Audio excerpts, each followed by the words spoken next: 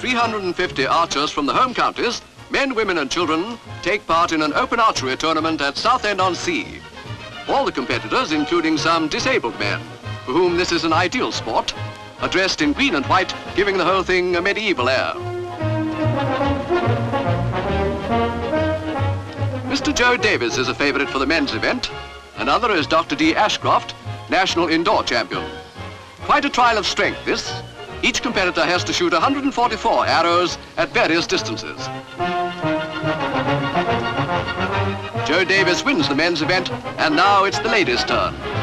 Last year's English champion, Miss Joyce Warner, on the right, wins another first prize for her mantelpiece. Watch your step, chaps. These girls are mighty quick on the draw.